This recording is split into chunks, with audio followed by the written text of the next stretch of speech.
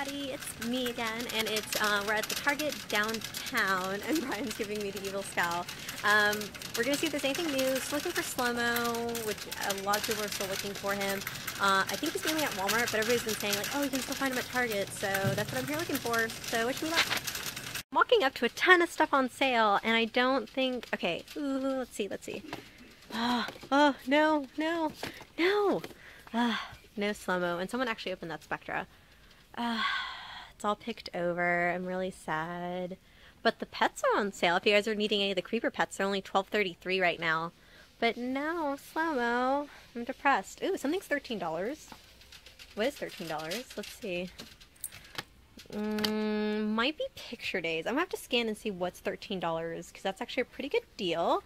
And Dot Dead Gorgeous is 16, which I'm surprised they still even have more Dot Dead Gorgeous. And what do we got over here? And these are $18.99, but they're way cheaper if you guys followed my video from the other day at Toys R Us, which are only $15.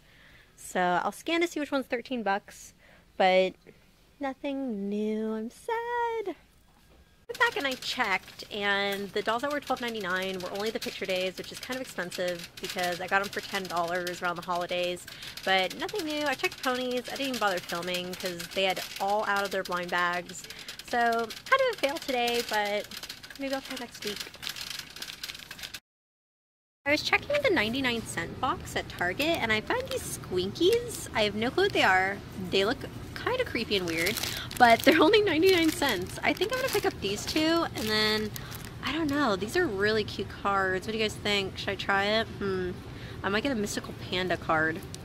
I think I'm gonna get these three. Maybe we'll shoot a little uh, random blind bag opening video when I get home. Hmm, but no Zelfs here though. I'm kind of sad. They had Zelfs here the last time I was here. Oh well. Alright, let's see what these, uh, I guess, squinkies are all about.